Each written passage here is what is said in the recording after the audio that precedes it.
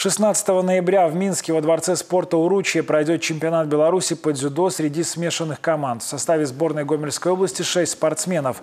За награды будут бороться Ульяна Миненкова, Енина Дубинина, Виктория Новикова, Матвей Шереметьев, Илья Тимошенко и Артем Радченко. Все атлеты представляют областной центр Олимпийского резерва единоборств.